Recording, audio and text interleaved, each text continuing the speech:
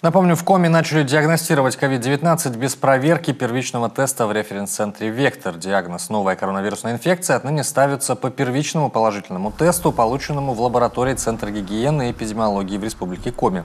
Направлять Новосибирск первичные положительные тесты на коронавирус больше не требуются. Об этом в своем видеообращении к жителям региона накануне рассказал в Рио главы Владимир Уйба.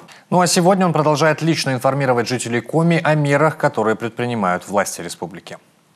Уважаемые жители Республики Коми, добрый день. Э, сегодня наше очередное включение. Снова э, расскажу вам э, об эпид-ситуации в цифрах. На сегодня мы имеем окончательное подтверждение 402 случая. Как я вам вчера говорил, мы больше не подтверждаем в референс лаборатории Векторе, а соответственно каждый день у нас сегодня фиксируются случаи без накопления. Хочу сразу ответить на очень многочисленные вопросы, где и как люди проходят лечение. Лечение проходит в легкие формы на дому, и это карантин, и, безусловно, э, это большая часть. Э, средние и тяжелые проходят в стационаре, это, как правило, инфекционная больница. Сегодня в стационаре у нас 227 человек, они входят в цифру 402. Э, на самом деле, на сегодняшний день выздоровление по заболеванию коронавирусной инфекцией – это не просто выздоровление по клиническим симптомам. Это нужно обязательно получить подтверждение лабораторное после выздоровления и двухкратное.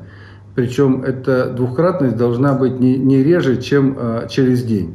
Поэтому как только а, человек клинически выздоровел, и э, у него взяты двукратные отрицательные, получены отрицательные анализы, человек считается выздоровевшим.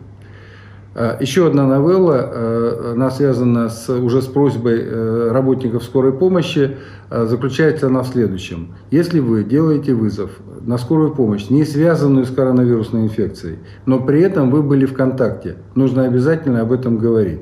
Потому что тогда а бригада скорой помощи одевается в изолирующие костюмы, тем самым создает безопасные условия для своей работы. У нас очень э, ограниченное количество врачей, давайте будем беречь и врачей, и средний персонал. Поэтому, если вы вызываете по другим э, симптомам э, бригаду скорой помощи, но были в контакте, обязательно об этом говорите. Я вчера встречался с уполномоченным по, по делам ребенка в э, республике Э, коми э, Татьяны Анатольевны Козловой.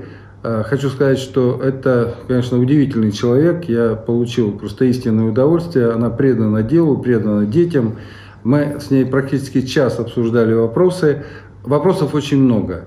Но э, хочу сразу сказать, что таким людям хочется помогать. И, и вопросы, которые она поднимает, очень злободневные. Это и строительство инфекционной больницы, это и строительство перинатального центра, это и помощь э, э детям, при, э, связанным для, с реабилитацией. Конечно, э, несмотря на то, что вопросы очень большие, емкие, будем точно э, решать точно будем э, строить в первую очередь инфекционную больницу, тем более она вот показала сегодня ситуация, она очень нужна. Безусловно, будем решать вопросы и просить помощи у федерального центра в строительстве перинатального центра.